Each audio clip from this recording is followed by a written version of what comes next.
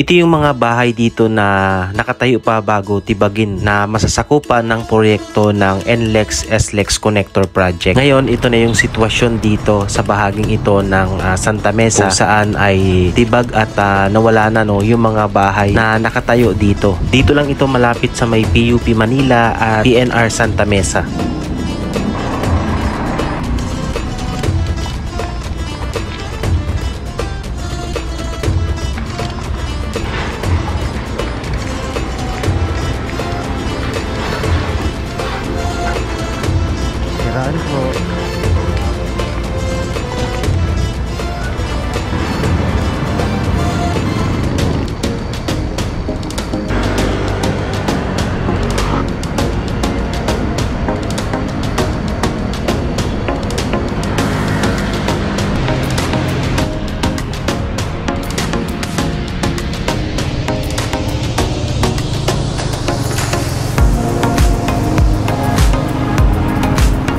Good mga kababayan, isang pinagpalang araw po sa ating lahat.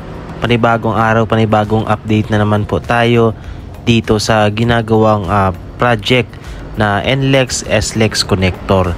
By the way, nandito tayo sa Santa Mesa, Manila. Malapit lang dito sa PUP Manila at dito sa Riles sa PNR Santa Mesa. Malapit din dito sa mismong uh, Anonas Street. At dito nga kakaliwa tayo, makikita ninyo na sa kaliwang bahagi natin, yung mga dating bahayan na nakatayo dito ay uh, wala na, natibag na. At ito yung uh, matadaanan ng proyekto ng NLEX SLEX Connector Project na ginagawa sa ngayon at uh, malapit na ring matapos. Ngayon ay papakita ko lang po sa inyo no yung uh, sitwasyon ngayon dito sa bahaging ito ng uh, Santa Mesa. Ayan, so mapapansin natin na marami ang kabahayan po dito nung ito ay uh, hindi pa nagigiba no or hindi pa nasisimulan yung proyektong ito. So sa ngayon ay halos ma-wipe out na yung dito sa kaliwang bahagi, yung malapit dito sa may Riles. Mapapansin nyo rin po yung mga naglalakihang mga uh, sasakyan dito na ginagamit na pang clearing. Pati na rin itong mga malalaking uh, tubo na to no na gagamitin sa proyektong ito. Ayan. So medyo mahirap yung daan dito. Nag-aalakan tayong dumaan kasi nga baka walang lusutan. So meron naman dumiretso din po tayo. At sa bantang kanan natin ay napansin natin na continuous yung ginagawang uh, pagdibag sa ilang bahagi pa ng bahay dito sa kanan natin no. Makikita ninyo na maraming mga gumagawa rito na tinitibag yung uh, ibang bahagi pa ng bahay. At uh, nakalabas na nga tayo dito sa may uh, bahaging ito at dito tayo na kakanan. So pagkanan natin dyan, ang lalabasan na natin ay ang Old Santa Mesa Road. So do, pag dinaretso pa natin yan, hanggang doon pa yung abot ng ginagawang clearing no o yung pagtatanggal ng mga bahay. Pero I think hindi na siya pwedeng pasukan ng uh, or pwede na, hindi na siya pwedeng daanan katulad ng dinaanan natin kanina. So, yung ibang part papakita ko na sa inyo kung saan ay yung kahabaan din po yung ilalim mismo ng NLEX SLEX connector na ginagawa.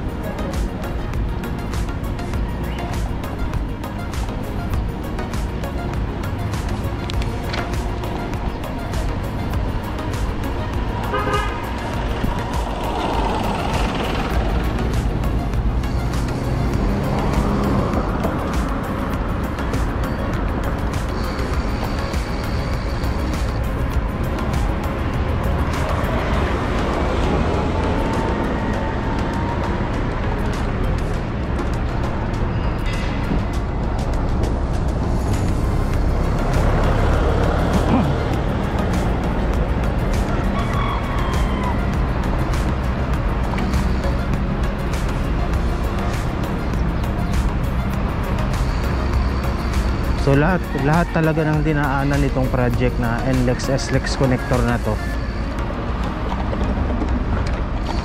Ay uh, wasak yung lahat ng kabahayan